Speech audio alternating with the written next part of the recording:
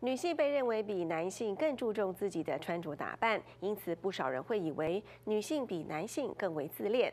然而，布法罗大学管理学院的一项最新研究显示，这种认知是错误的。事实上，男人要比女人更自恋。研究人员对近三十年来相关的统计数据、论文报告进行了深入分析，涵盖的被研究人数达到了四十四十七点五万人。最终，研究人员发现，男性与女性在自我认知行为上存在明显差异。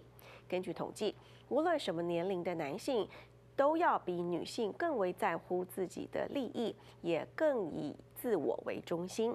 其中，在对权力的欲望上，男性与女性间的差异最大。